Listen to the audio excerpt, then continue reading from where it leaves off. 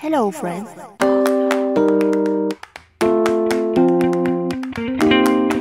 Hola, ¿qué tal? La mona soy yo y bienvenidos a un nuevo video. ¡Pum, pum, pum! Monitos y monitas de mi corazón. El día de hoy estoy con un youtuber, músico y ahora escritor, Germán Garmendia. Hola, me gusta tu intro. Pum, pum, pum. Pum, pum, ¿Esa es tu intro? Sí, siempre. Pum, Desde pum, hace pum. dos años. Genial. La he hecho con otros escritores y demás. Y también Vale. son como, quiero ser el pum, pum, pum. está bueno, llama la atención, está buenísimo. Bueno, como lo dije en la introducción, ya tienes tres facetas, digamos así, públicas. ¿Cómo logras ser Germán Garmendia y dar el 100% en las tres? Creo que me lo tomo por tiempo. Creo que eh, cuando, por ejemplo, le di a la música, le di por un tiempo eh, determinado, no hice nada más, o sea, aparte de YouTube. eh, porque si no, no me concentro. Uno sabe que uno como youtuber, uno quiere hacer todo. Uno está Todo. como, o sea, cuando estaba escribiendo el libro, estaba pensando en un video, estaba como, mm, y tienes que concentrarte en una sola cosa. Eso es lo más, lo más complicado, yo creo. Hace dos años ya habíamos visto aquí a Germán, hace dos, hace como tres años ya habíamos visto a Germán Garmendia en la Feria del Libro, pero esta vez nos trae Di Hola.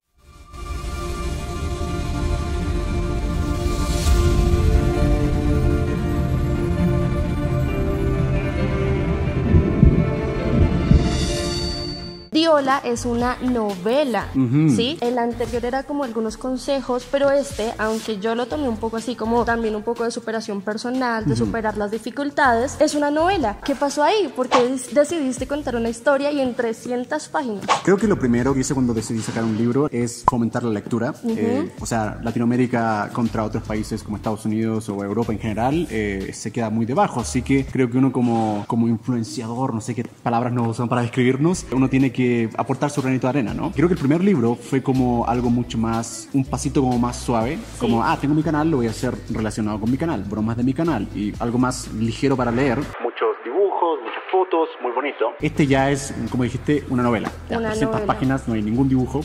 Todo es lectura, Pues, lectura, aunque, lectura. aunque no hay ningún dibujo, yo sí quiero, de hecho aquí lo tengo marcado, me parece súper bonito, ya les había mostrado, que tiene algunos diseños las páginas y eso Claro, para empezar el como- capítulo, para Exacto, separarte. Creo que te da exacto. como, sobre todo para los- te da como terminaste de leer en un capítulo, te da como un break. Exacto. Un pequeño break, miras un dibujito, uh, la, la, la, los arbolitos. y Pues después hablando de eso, leyendo. o sea, cuando yo estaba leyendo el libro, mira, yo soy muy empática. Es decir, mira, yo veo series, veo películas y a los personajes les pasa algo y yo me afecto. Sí. Obviamente, cuando estaba leyendo el libro, yo tenía que parar porque me afectaba demasiado, ¿sí? En esa parte de escritor, ¿cómo lograste, cómo lograste hacer eso? ¿Te ayudaron o cómo fue? Creo que quería eh, ese impacto, era el que andaba buscando y lo más complicado fue cómo. Yo vengo pensando en Oscar y Natalie desde hace, Natalie desde hace mucho tiempo. Sí. Obviamente ya tenía eh, definido qué iba a pasar, pero de todas formas, ¿cómo lo haces? ¿Cómo Oscar tiene que lidiar con estas situaciones? Exacto. Estoy tratando, estoy tratando de hablar sin lanzar mucho spoiler.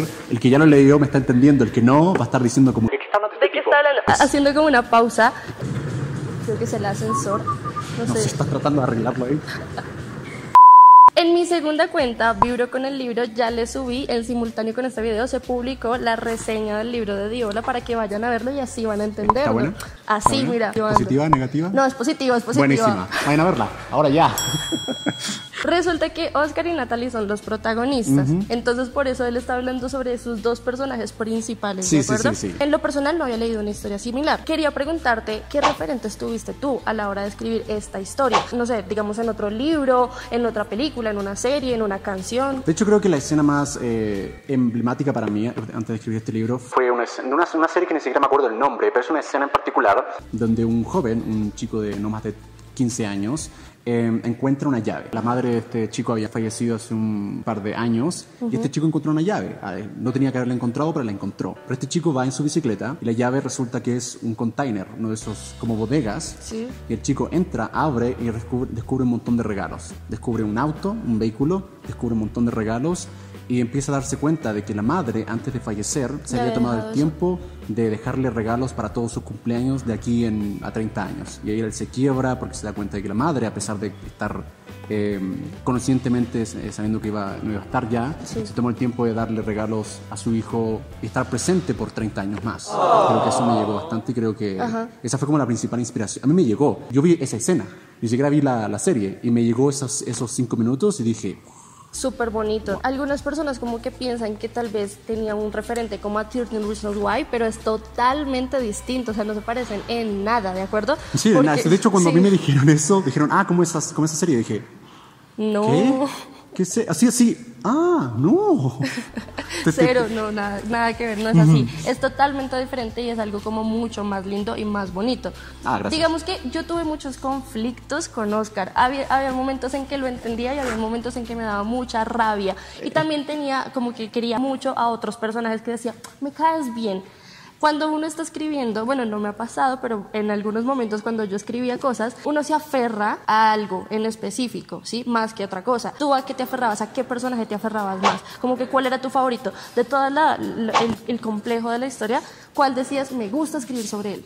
Es complicado, o sea, obviamente Natalie es es un sol. O sea, Natalie es, es, la persona que todos queremos. Yo creo que me considero la persona que todos queremos llegar a ser. A todos nos gustaría ver el lado positivo de la vida siempre, sí. pero no siempre es así. Pero Natalie es. Yo creo que lo más complicado fue pensar en la historia de los personajes sin escribirlos. Exacto, sí. Porque no quiero explicar la historia entera, sino que Oscar es de esta forma y, y llegó a ser eh, de esta forma por muchas cosas que le pasaron. A pesar de que indago en la historia de los personajes, yo tenía que pensar más aún para que estos personajes tuviesen sentido. Y para mí Oscar, eh, claro, es, es, es complicado porque a veces, como decías, a veces es una buena persona, a veces es un desgraciado al 100%, y es como difícil eh, constantemente estás como, como peleando contra tus propios sentimientos, uh -huh. es parte de ser humano. Creo que Oscar para mí es, la, es, es, es, es, es todos. Todos tenemos errores, todos tenemos formas de ser que no nos gustaría ser a Sí, veces. digamos que algo que yo valoro mucho del libro es que en el libro sí se ve el proceso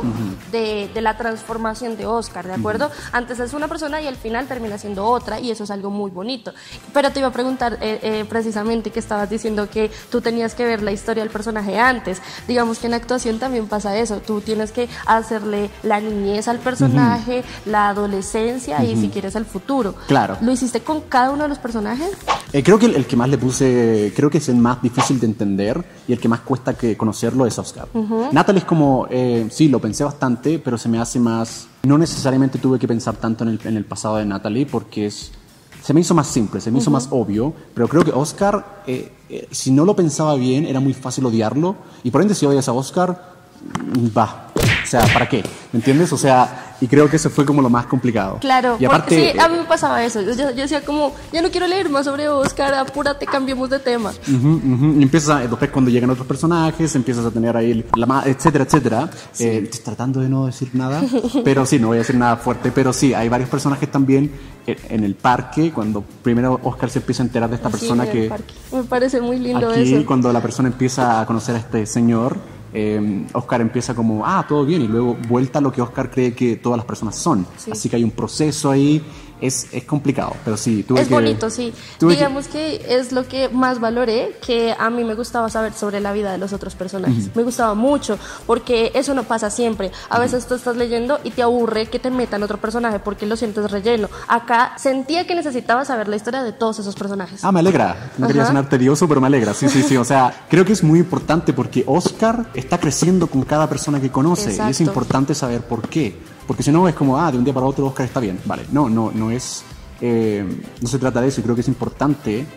Era importante recalcar cada, cada una de las personas. Y a la larga termina. O sea, estamos hablando de Oscar y Natalie, pero cuando llegues acá, eh, ya vas a conocer a todo el grupo ahí.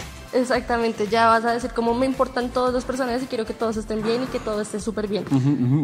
Pues bueno, Germán, muchísimas gracias por No, esta gracias entrevista. Muchas gracias también por lograr que muchas personas que te siguen quieran leer. O sea, esto es un gran paso Mi para bebé. que los, los niños empiecen como a decir, mi ídolo escribió un libro, quiero leerlo. Y quizás después de este quieran leer más cosas. Sí, o sea, los invito 100% a seguir leyendo, o sea, lean este primero. no, pero por favor, eh, tomen el tiempo de leerlo, eh, le puse mucho cariño, así que sí, los invito a leer más libros, hay un montón de buenos libros, millones, así que lean, es buenísimo, les cambia la vida. Y no olviden también mi segunda cuenta para ver la reseña del libro, aprobada por Germán. ¿En la descripción va a estar? Sí, en la descripción. Ahora ya. No olviden seguirme en todas las redes sociales como arroba la mona soy yo. Por supuesto a Germán Garmendia en todas sus redes sociales. Estoy asumiendo que va a estar acá. Y si va a estar. Ah, bueno, Y, y chao, chaito, chao. tengan lindos días. Ah, encantado. Genial.